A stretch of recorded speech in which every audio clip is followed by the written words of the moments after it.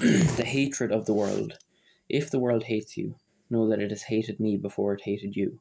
If you were of the world, the world would love you as its own.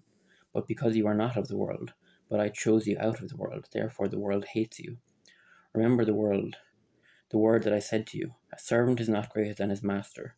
If they persecuted me, they will also persecute you. If they kept my word, they will also keep yours. But all these things they will do to you on, on account of my name, because they do not know him who sent me. If I had come and spoken to them, they would have not been guilty of sin, but now they have no excuse for their sin. Whoever hates me hates my Father also. I love you, Jesus. If I had not done among them the works that no one else did, they would not be guilty of sin. But now they have seen and hated both me and my Father. But the word that is written in their law must be fulfilled. They hated me without a cause.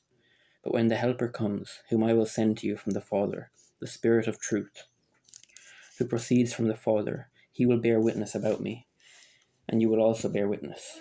Yeah? No, because you have been with me from the beginning.